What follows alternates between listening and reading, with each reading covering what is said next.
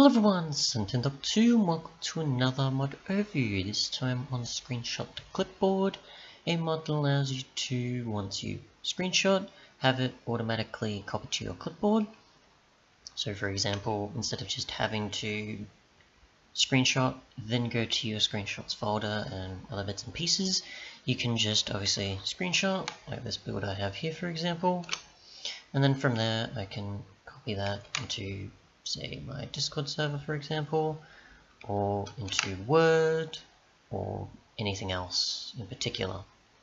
So yeah, if you want to make it easier, instead of having to obviously go to the screenshots folder all the time just to find the most recent screenshot,